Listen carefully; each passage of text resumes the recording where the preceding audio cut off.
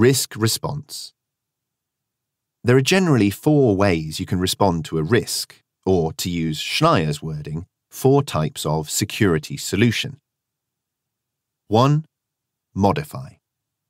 Implementing a security control to bring the impact and or likelihood of the risk down to an acceptable level.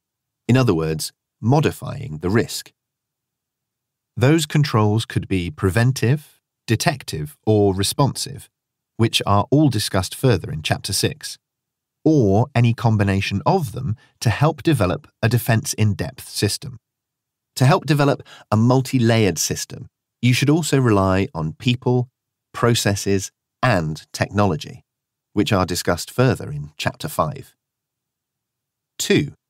Share sharing at least part of the risk with another party, such as through insurance or by outsourcing the process to an organisation that is better able to manage the risk.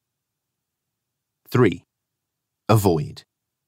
Avoiding the threat altogether by, for example, ending a processing activity or changing the way the activity is conducted. And 4. Retain actively choosing to retain or tolerate the risk if it's not possible or too expensive to treat the risk, or if it presents an opportunity for a positive outcome. Make sure that you document your chosen response, including justifications, and where applicable, your chosen controls.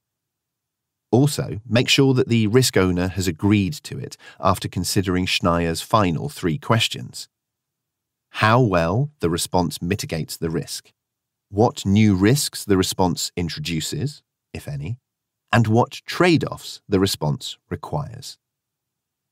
After implementation, review the response's effectiveness to ensure the risk has been sufficiently mitigated.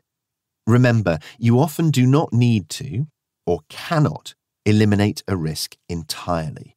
Just lower it to a level that is within your risk appetite.